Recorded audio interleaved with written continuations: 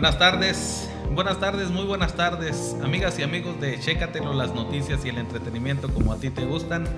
Soy Omar Rodríguez y les doy la bienvenida a un programa más de servidores públicos de frente. Es jueves, no son las 8 de la noche, son las 5 de la tarde. Por única ocasión, hoy eh, modificamos el horario eh, por cuestiones de agenda de nuestro invitado, a quien ya están mirando ahí en la pantalla, eh, el licenciado Javier Lamarque Cano, diputado federal y alcalde electo de Cajeme. Licenciado, muy buenas tardes. Omar, mucho gusto de estar aquí con ustedes. No, pues al contrario, muchas gracias. Eh, el honor es todo nuestro. Por segunda ocasión lo tenemos en este programa. Eh, recordaremos que ya el año pasado tuvimos oportunidad de platicar. Eh, bueno, y fueron bastantes los temas. algunos quedaron por ahí a lo mejor pendientes. La invitación va para que quienes está siguiendo la transmisión pues haga sus comentarios, haga sus preguntas, incluso si quieren, aprovechando que tenemos eh, por acá en el estudio a Javier Lamarque, pues con toda confianza, aquí lo tenemos para que le pregunten lo que quieran o para que lo saluden, lo feliciten. Sabemos que tiene bastantes, bastantes amistades, sobre todo muy contentos. Tiene mucha gente conocida que, que en los últimos meses le echaron muchas porras, ¿no? Ahorita vamos a platicar también sobre eso. Muy bien. Perfecto. Licenciado, pues... Eh, bienvenido y platíquenos, platíquenos por favor eh, cómo, cómo ha sobrellevado esta, eh, ¿cómo le llamamos? Tan... ha sido bastante complicado estos últimos eh, dos años, además de los de los trabajos legislativos en los que allá va y, se pelea, ¿no? Por lo que ya sabemos, toda actividad de, un diputado federal es, ir y pelear eh, recursos, pelear eh, mayores oportunidades para traerlas a su, a su municipio. Eh, la pandemia vino a, complicar un poquito todo eso. Sí, por supuesto, ha sido un, un, tránsito difícil, complicado para el país, para nuestro municipio. Por, este, y bueno, la Cámara eso eh, ha impedido que avancemos con todo lo que queríamos, con todo lo que teníamos previsto, pero indudablemente eh, la voluntad y el carácter del pueblo de México y Cajeme eh, se han impuesto y vamos saliendo ya de esta situación tan crítica, tan grave. ya estamos a la vuelta de la esquina. precisamente ayer se inició la etapa de vacunación de los 30 a los 39 años y ya nada más quedaría la etapa de los 18 eh, a los 29 años. O sea, prácticamente estamos de salida, eso es muy eh, importante y es muy esperanzador que ya tengamos ahí eh, pronto la salida de esta negra noche de la pandemia. Y ahorita que lo menciona, tuvimos oportunidad de verlo por ahí el día de ayer en uno de los puntos de vacunación, uno de los tres puntos de vacunación aquí en Ciudad Obregón, en Plaza Sendero. Eh, estuvo por ahí con el delegado del bienestar, eh, la dependencia encargada ¿no? de este proceso de vacunación. Platíquenos un poquito sobre esa visita. Bueno, eh, nos me invitó, nos invitó porque en realidad también estuvo ahí el senador Arturo Burs y la diputada federal electa Gabriela Martínez. Entonces nos invitó Bernabé Arana, que es el delegado del bienestar aquí en Cajeme, a eh, hacer un recorrido para que eh, certificáramos eh, la organización de la vacunación, de ese proceso de vacunación. Y la verdad quedamos gratamente sorprendidos porque mucho orden, muy buena organización, el ánimo de la gente de primera, de verdad yo quiero felicitar a esta generación joven de los 39 a los 30 años eh, con una madurez, con una eh, voluntad, con una capacidad organizativa muy eh, significativa, que acudieron a vacunarse de manera ordenada y por otra parte, pues adentro todo el personal de apoyo a este a esta actividad, a este proceso de vacunación, pues, pues muy bien, muy bien, eh, muy amables las enfermeras, los ayudantes, las ayudantes, todo muy bien y qué bueno, qué bueno eh, que así está. Y yo le digo a la gente, eh, hay que vacunarse. O sea, a veces me preguntan cuál es la peor vacuna y yo les digo la que no se ponen, ¿no? Este, hay que vacunarse, eh, es necesario, es indispensable para salir ya de esta situación tan grave para todos, para todas. Lo vimos desde, desde el inicio de la pandemia y en aquella ocasión que lo tuvimos también en el programa eh, como uno de los promotores eh, de, del cuidado, de la prevención ante esta pandemia y hoy con, con, mayor razón lo vemos recorriendo, haciendo este tipo de visitas como la que nos platica el día de ayer. ¿Por, qué? ¿Por qué es tan importante para Javier Lamarque eh, un pueblo sano? Bueno, porque la salud lo es todo, es la vida, ¿no? Sin salud no hay nada. Con salud todo se puede lograr. Es lo primero, es lo básico, es lo fundamental. Entonces, la salud del pueblo de México, del pueblo de Cajeme, es lo primero, es lo prioritario. Y con la salud viene lo demás, viene el desarrollo, viene el crecimiento económico, viene el bienestar, viene todo. Entonces vamos a apoyar todas las acciones que mejoren y protejan la salud de las y los cajimenses. Usted en carne propia ya, ya sintió lo que es esta enfermedad, ¿no? Así es, eh, un poco, y aquí es importante hacerlo notar, ¿no? Porque eh, luego echamos mucho la culpa eh, al, gobierno, a las autoridades, pero la verdad es que en el, 80% somos nosotros. ¿sí? Eh, también a veces por abusar de la confianza, de ah, no pasa nada, ir a reuniones y luego no usar el cubrebocas, y no, no, cuidamos la sana distancia, no nos lavamos las manos, que es fundamental todo esto, pues nos enfermamos, ¿no? vamos a lugares donde hay mucha concentración y al rato andamos reclamando que por qué nos enfermamos. Entonces yo le pediría a la gente que eh, sí eh, mantengamos las precauciones correspondientes, las que nos eh, indican las autoridades, porque la enfermedad es muy seria. Yo ya la sufrí en carne propia, me fue mal y bien, ¿no? Mal porque, mal porque tuve que hospitalizarme, pero bien, gracias a Dios, porque eh, me restablecí. Muy pronto, para como estaba, fue muy pronto. De hecho, yo salí del hospital a la campaña prácticamente de manera directa, así que eh, yo doy gracias a Dios ¿no? que haya tenido esa recuperación, pero no hay que arriesgarse. No hay que arriesgarse, el, virus no tiene cura, el virus hay que, eh, pues, un proceso de, de, irlo eliminando poco a poco, pero es una situación que se está enfrentando a nivel mundial Creo que ya hemos avanzado bastante con las vacunas, ahorita están con los tratamientos, en fin. Finalmente, reitero y llegamos al principio. Hay que cuidarse y hay que asumir la responsabilidad de cuidar a nuestra familia.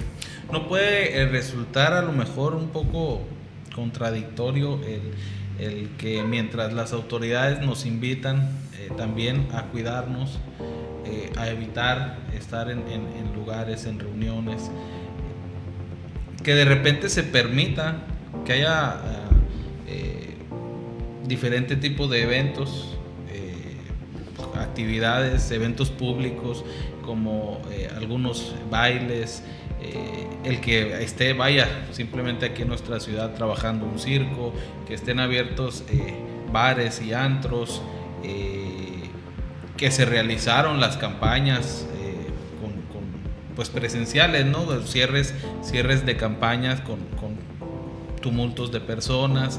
De repente ahí es un poco incongruente, podríamos llamarlo. Sí, mira, eh, es una problemática difícil de esas que no hay salida eh, buena, ¿no? Si nos encerramos y paramos la economía, pues hay un gran problema. Y si salimos, nos enfermamos, pues hay otro gran problema. Entonces, eh, es una situación eh, complicada para los gobiernos particularmente, porque no eh, puedes tener a la gente encerrada tampoco. Entonces tienes que buscar puntos intermedios, los equilibrios, flexibilizar cuando sea posible y cuanto sea posible. Eh, y aquí mucho tiene que ver con el semáforo, ¿no? Si el semáforo está en verde, pues no hay problema, ¿no? Si el semáforo está en amarillo, pues más o menos, o sea, puedes acudir con precaución y demás. Ya depende en qué color está el semáforo. Si está en rojo, pues definitivamente hay que encerrarnos y no salir, ¿no? Y, pero como te digo, es complicado. Eh, me acuerdo que los primeros meses de la pandemia fue prácticamente encierro total y pegó durísimo a la economía de nuestro país. Se vino abajo el empleo, se vinieron abajo los ingresos. Eh, ahorita hay un proceso de recuperación económica extraordinario en nuestro país, es de los, de los países a nivel mundial que han tenido la más pronta y la mejor recuperación. De hecho, el crecimiento económico para México en este año se estima que va a ser eh, alrededor del 6-7%, uno de los más elevados a nivel mundial.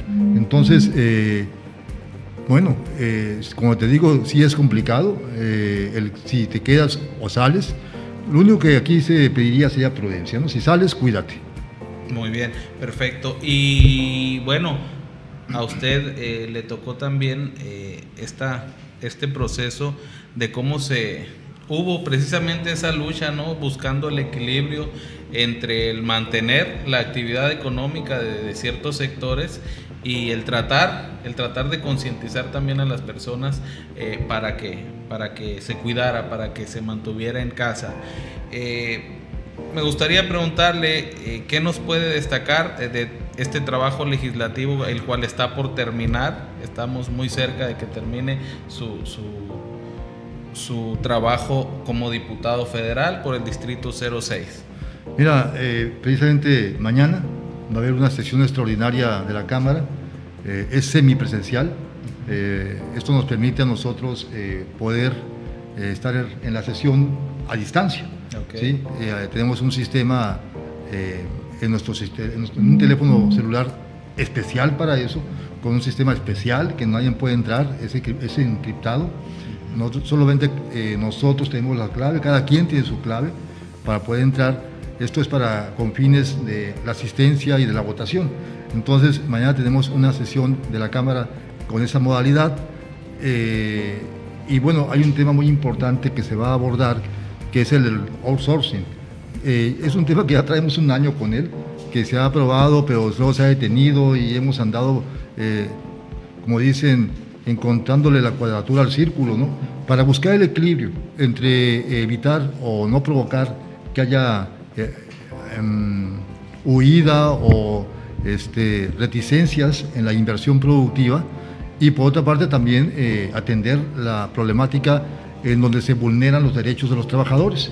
Entonces queremos un punto de equilibrio, un punto de equilibrio que permita, por un lado, sí la inversión, por supuesto queremos inversión, pero por otro lado también sí eh, responder y cuidar eh, los derechos de las y los trabajadores, porque el outsourcing tal y cual pues mm, limita muchos de, sus derechos, o sea, el derecho a las vacaciones, el derecho al aguinaldo. ¿Por qué? Porque eh, despiden a los trabajadores y ya no le dan vacaciones, o despiden a los trabajadores y ya no le dan aguinaldo, lo, lo despiden y ya no hay antigüedad. Entonces, son, eso es lo que tenemos que encontrar, un punto intermedio para que se puedan caminar eh, ambas problemáticas en el mismo sentido del bien de todos. Muy bien. Eh, deja por ahí pendientes, nos comentaba al inicio que eh, la pandemia vino a limitar tanto a los gobiernos locales como al federal, por supuesto, y bueno, ¿qué, ¿qué, le gustaría haber podido lograr que se le diera tal vez continuidad en la próxima legislatura. De hecho, yo quiero que se le dé continuidad a dos iniciativas que yo tengo ahí pendientes. Una es eh, sobre las casetas de viaje en nuestro estado, eh, es decir, estamos planteando que en nuestro estado se flexibilice la tarifa para eh, los residentes, las residentes de Sonora, ¿sí? que en el caso de las casetas periféricas, como la de Esperanza para nosotros, el descuento sea del 100%, como ya se hizo en alguna ocasión, pero que además en el resto del Estado, para los y las residentes de Sonora, se descuente el 50%. Por ejemplo, ese tipo de, puntos intermedios, pero que, creo yo son válidos para la gente de Sonora, eh, en cuanto al uso de la carretera federal 15, eh, es posible, lo estamos eh, planteando, lo hemos negociado, ha habido avances muy importantes y hay una iniciativa que yo presenté para que esto sea ley. Eh, claro que yo la redacté de tal manera para que se pudiera aplicar en todo el país. ¿Cómo? Pues simplemente diciendo, si se dan estas condiciones que son las de Sonora, ¿no? es decir, si hay una carretera única, como es el caso nuestro, que un día te la convierten de dos a cuatro carriles, luego te ponen caseta, pues ahí, eh, si no tienes una carretera alterna, pero alterna de verdad, eh, entonces, pues no te pueden dejar sin, el libre tránsito. Claro. Entonces, son, tipo de, son algunas situaciones que eh, tenemos ahí pendientes. Hay otra iniciativa de ley que me parece importante, que es eh, un apoyo económico eh, para todas las mujeres que cuidan a gente o a familiares vulnerables, como ancianos o niños, gente con alguna discapacidad en su casa y que no reciben ninguna remuneración. Y que por supuesto esto tiene un costo económico de miles de millones de pesos. Entonces, pero nadie eh, cubre ese costo y se asume gratis, ¿no? Entonces creo que se merece que las mujeres, como se ha hecho, se hace en algunos países en el mundo, que tienen ese tipo de actividad o que eh, asumen esta responsabilidad, pues tengan una gratificación económica por esa contribución en la familia. ¿Y cómo, cómo se ha contemplado que esta iniciativa ayude a estas personas? Eh, ¿Cómo sería el proceso eh, de esos apoyos? No, pues ¿Se están bajando? Habría que ser un tabulador, y también lo, estoy proponiendo un tabulador, dependiendo del tiempo que le dedican al cuidado, el, dependiendo, dependiendo del tipo de cuidado, si es eh, parcial, si es total o si es, muy, o si es eventual, ¿no? entonces, una cuota de apoyo ¿no? para estas personas. Ok, perfecto. Eh, muy bien. Hay algo, eh, bueno, pues le comento a la gente, ¿no? Eh, ya estamos recibiendo algunos, algunos comentarios, ahorita le vamos a dar lectura. Le comento a la gente que estamos haciendo el programa rápido, estamos totalmente en vivo, es, jueves, son las que 5, 20 de la tarde. la agenda, la agenda del licenciado es apretada, así que nos vamos a ir rapidito. Eh, me gustaría también eh, pasar al tema inevitable, licenciado, eh, además de, diputado federal que ya le queda un pelito, nos vamos a, a topar muy pronto con que será de nueva cuenta el alcalde de Cajeme, ya lo fue en el 97-2000 y a partir de septiembre próximo estará de nuevo en el Palacio Municipal. Me gustaría platicar un poco de eso. ¿Qué tal si empezamos desde las campañas o un poco más atrás? ¿Cómo se dio eh, la decisión que tomó Javier Lamarque para competir de nueva cuenta por la alcaldía? Pues mira, ciertamente me va a tocar por segunda ocasión tener el honor de eh, dirigir, representar desde la, desde la autoridad municipal eh, a nuestro eh, ayuntamiento y por ende a nuestro municipio. Y sí, no fue una decisión fácil para mí, porque soy diputado federal, tenía la opción de ir por, una, por un segundo periodo en la Diputación Federal, porque ahora ya se permite de manera inmediata, y hubiera sido mucho más cómodo en todos los sentidos. Eh, yo sabía, tenía las encuestas de que si iba por la Diputación Federal, prácticamente la tenía en la bolsa. Y además, eh, pues es mucho, aunque es muy, muy importante el trabajo del legislador, y tiene sus demoles, no es tan sencillo como la gente a veces piensa. Eh, si te metes de veras, pues sí, requiere experiencia, requiere, conocimiento, requiere entrega. ahí en la Cámara es donde se deciden los asuntos más importantes para el país, finalmente, ¿no? Si en la Cámara no se toman las decisiones, pues aunque un gobernante, un presidente de la República, por ejemplo, tenga la mejor voluntad del mundo, no va a poder avanzar, no va a poder eh, hacer que prosperen sus iniciativas. Entonces, la Cámara es fundamental. Ahí se deciden muchas cosas que benefician o afectan a la gente. Entonces, eh, pero eh, lo cierto es que comparado con la actividad de un presidente municipal, pues es mucho más ligero. Sí, hay que trabajar, hay que, a veces hay jornadas que van de las 9 de la mañana de un día a las 11, 12 del día siguiente, ¿no? Luego dicen, se durmieron, dice. Oye, salió en el canal ahí del Congreso, se durmió el diputado, pues si tienen que 30 horas. Y me consta que eh, muchas de esas veces, o la mayoría quizás, no están dormidos los diputados. Yo, yo, me cuidé, pero simplemente ya tienes 20 horas sin, sin dormir pues algunos cierran los ojos, ¿no? Así, se recaen por el cansancio, pero no están dormidos, me consta, porque un compañero que estaba enseguida de mí, le estábamos platicando y tenía los ojos cerrados y le tomamos la foto y le no, se durmió. Hay casos donde sí se duermen, ¿no? Este, pero bueno, esa es la situación. Eh, el asunto es que eh, comenta de la dificultad de tomar esta decisión. Sí. fue, fue, fue, el asunto es consensuado con la familia. Entonces el asunto es que tuve que platicarlo con la familia. Yo mismo decía, no, pues es que la problemática de Cajeme es complicada, es difícil.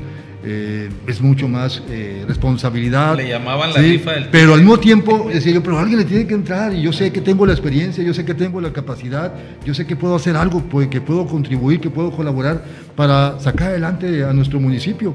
Entonces, al principio mi familia no quería, la verdad no quería, tuve que convencerlos a la fuerza y me aventé, me aventé eh, y gracias a Dios pues la gente confió en nosotros, confió en mí y vamos a volver a eh, gobernar a este municipio. ¿Qué le argumentaba su familia por la pues, dificultad que atraviesa el que para qué metí en problemas.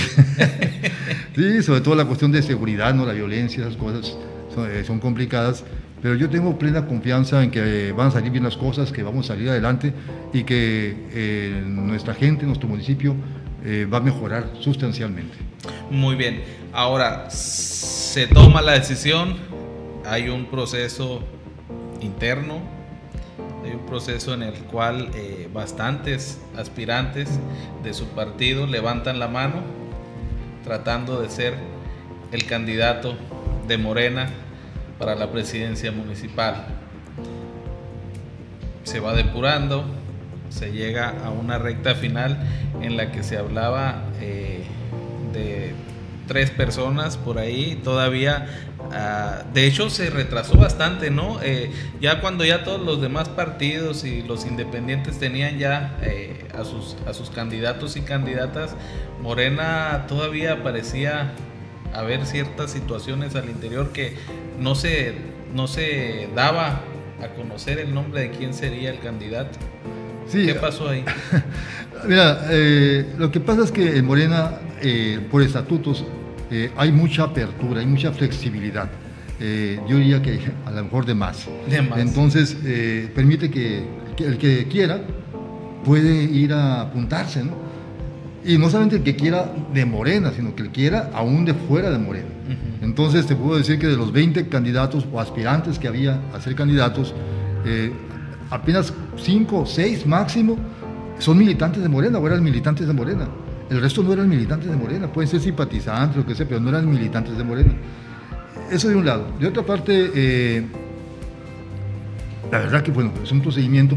Se frenó no por la cuestión local, se frenó por la cuestión nacional, porque eso depende de las convocatorias y depende de los calendarios a nivel nacional, porque todo está eh, normado eh, en el ámbito general. ¿no? Entonces, por eso se frenaba. Pero eh, para mí era muy clara la situación, siempre fue clara. Claro, con todo respeto para los compañeros, para las compañeras, yo conocía las encuestas y la verdad, eh, pues era muy claro que yo tenía la mejor eh, posibilidad y el mayor apoyo de la gente, con, con, mucho. Y se dio, se dio, se nombró el candidato se empezaron las campañas también de una forma muy peculiar. En su caso, desde el hospital, inició la campaña a la presidencia municipal internado en el hospital por lo que comentábamos del problema del coronavirus. Así es, sí. Pues mira, yo, me yo tuve que internarme, entré 15 días tarde a la campaña, pero afortunadamente hubo factores que me ayudaron mucho. Primero, eh, el hecho que la gente me conozca, que la gente me conozca, me conozca bien y que haya en lo general una buena referencia por el gobierno que hicimos en su momento. Eso fue fundamental. Por otra parte, el apoyo de mi equipo, o sea, el equipo de trabajo estuvo metido, eh, hizo campaña como si yo estuviera presente y la gente respondió eh, con mucho ánimo, con mucho corazón, lo cual agradezco enormemente.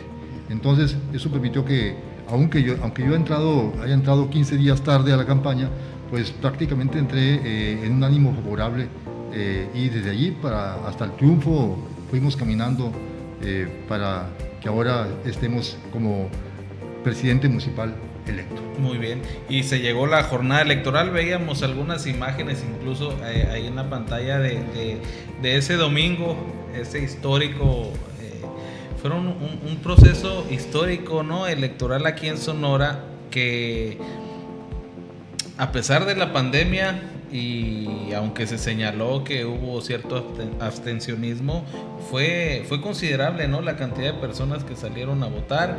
Eh, también se dio algo que para muchos fue sorpresa y para otros, como lo comenta usted, no, eh, la cantidad, la diferencia de votos entre usted que resultó el, ganador y su más cercano competidor, ya ni se diga de los demás.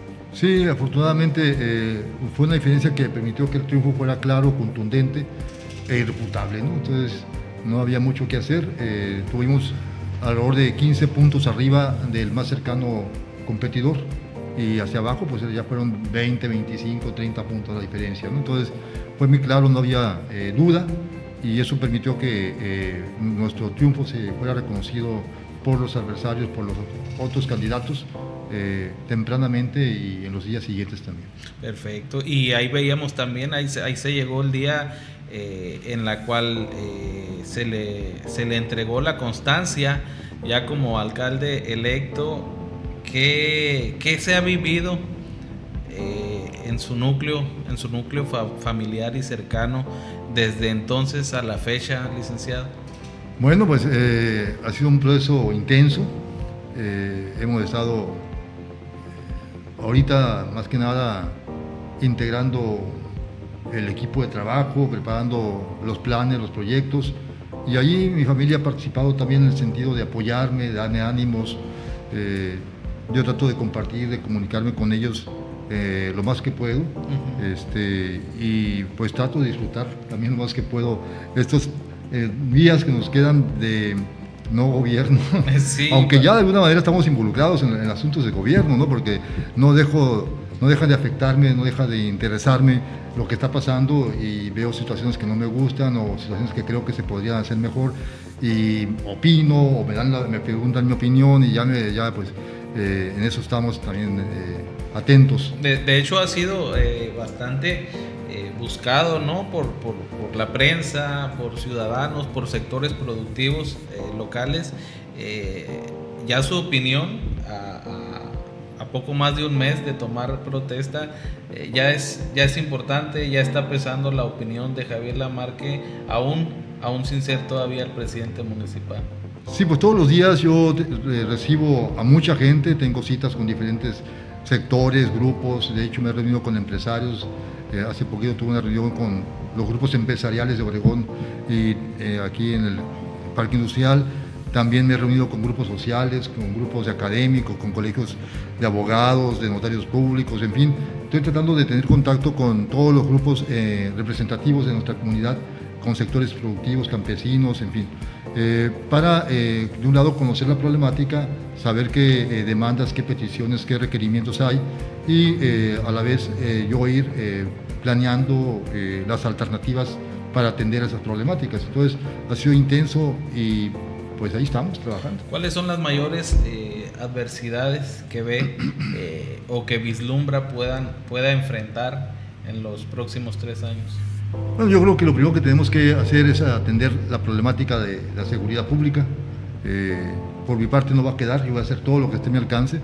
Eh, tengo la voluntad y la intención de mejorar las condiciones laborales de la policía, su equipamiento, eh, su capacitación, mejorar la coordinación con el gobierno federal, con el gobierno estatal, en fin, para con ello buscar que haya pues un proceso de, de tranquilidad, de apaciguamiento de la situación de seguridad pública en nuestro municipio.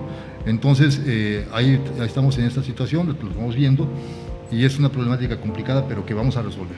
Es el mayor reto. La, es el mayor reto, y, es el mayor reto, y luego le sigue, pues obviamente eh, tenemos el crecimiento económico, la generación de empleo, que también yo tengo muy buenas, muchas esperanzas, muchas, muy buenas expectativas eh, de mejoramiento, hay muy buenos proyectos, muy buenos planes, quiero adelantarle a la comunidad de Cajeme, que eh, en coordinación con el gobernador electo de Sonora eh, traemos varios proyectos. Uno de ellos es el de el aeropuerto de la ciudad de Ciudad Obregón, convertirlo en un aeropuerto internacional de carga eh, para que Cajeme se em, convierta en un punto fundamental en la comercialización de productos a nivel nacional e internacional. A la vez el mismo aeropuerto, que lo vamos a conectar con el parque industrial que está a un lado, con el recinto fiscal y un nuevo parque industrial y allí va a estar una eh, zona de carga, una sección de carga. Eh, todo esto va a dinamizar, va a detonar eh, la economía de nuestro municipio, el desarrollo de nuestro municipio, va a generar empleos y junto con ese hay otros dos o tres proyectos más que tenemos por ahí de esta naturaleza, de darle un impulso nuevo a Cajeme, a nuestro municipio, a Ciudad Obregón en particular, y vamos a salir adelante. Tengo muchas esperanzas. Eh, como te digo, tengo la confianza que vamos a contar con el apoyo del próximo gobernador de Sonora, el doctor Alfonso Brazo, y por supuesto vamos a contar con el apoyo del presidente de la República, Andrés Manuel López Obrador. Muy bien. si me permite, eh, vamos a darle lectura. Tenemos aquí nada más algunos comentarios. Dice Rosa Isela García, buenas tardes, saludos al alcalde electo de Cajeme, licenciado Javier Lamarque Cano. Eh, Miguel López comenta, bueno, pregunta, ¿por qué piensa usted que será diferente a Mariscal y que sacará a Cajeme del profundo bache como lo terminó de llevar un gobierno morenista? Como diputado federal eh, no hizo nada y qué va a hacer por Cajeme, pregunta Miguel López. Bueno, pues ¿Por qué soy diferente a Mariscal? Bueno, a mí lo que me respalda es lo que he hecho, no lo que han hecho otros. ¿no? Entonces yo no voy a responder por lo que han hecho otros, sino por lo que he hecho yo. Eh, ya fui gobernante, creo que hicimos un buen gobierno. Eh, yo le podría decir a nuestro amigo que yo recibí un ayuntamiento quebrado de una administración priista, ¿sí? Eh, no había para pagar los sueldos de los empleados, no había para pagar aguinaldos, se debían, se debían a los proveedores facturas de más de un año, eh, no había un peso en caja, por ejemplo, y, puedo decir con satisfacción que cuando entregué, entregué un ayuntamiento con finanzas sanas, con sueldos de los trabajadores provisionados, también aguinaldos, eh, los proveedores pagados al día y con 30 millones de pesos en caja. Entonces, para hablar de un ejemplo, logramos reducir la, inseguridad eh, en, algunos, en un porcentaje importante, incrementamos el empleo como no eh, se había dado un Cajeme en los últimos tres sexenios que me antecedieron. Eh, en fin, eh, hubo, creo yo, algunos logros importantes y ello genera una experiencia. Genera una experiencia, además, ya con los años y con lo que he vivido, pues yo me siento ahora mucho más capaz. Además, contamos con una situación favorable, que es el que estén alineados los tres niveles de gobierno. en aquel tiempo todo esto fue a pesar de que no recibí un solo peso de apoyo de parte del gobierno estatal ni federal. Usted entonces ahora tenemos ya alineados PRD, ¿no? sí, así es. Ahora ya tenemos alineados los tres niveles de gobierno, lo cual va a hacer mejor las cosas. Tengo más experiencia que antes y, tengo la experiencia de antes también. Bueno, sin embargo, eh, actualmente eh, la presidencia de la República coincidía con, con el gobierno municipal, siendo eh, de extracción morenista, sin embargo, tampoco hubo inversión federal, ¿no? Para Cajeme en algunos rubros. Mira, yo no, yo te voy a decir una cosa, vamos a traer inversión, vamos a traer inversión, estamos trabajando en eso, eh, ya estamos en pláticas y gestiones, de hecho, eh, en, este, en este sentido, el gobernador electo, próximo gobernador constitucional de Sonora, tiene un ánimo extraordinario, una disposición extraordinaria, eh, nos ha ofrecido todo su apoyo y vamos a tener las condiciones.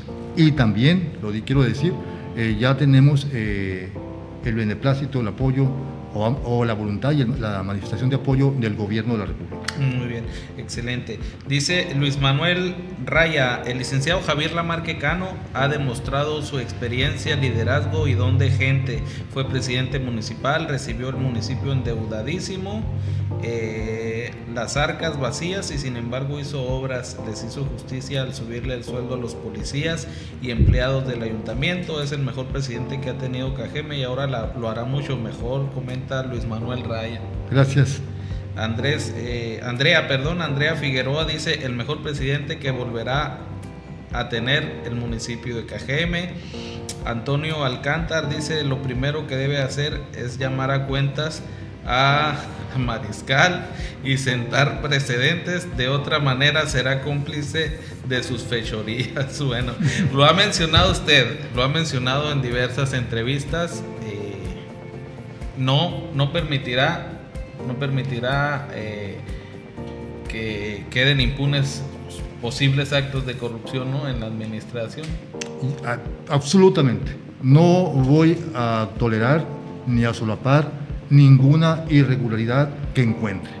No voy a cargar con eh, culpas ajenas eh, y vamos a turnar, si encontramos alguna irregularidad, vamos a turnarla a las instancias correspondientes de eso que no quepa la menor duda.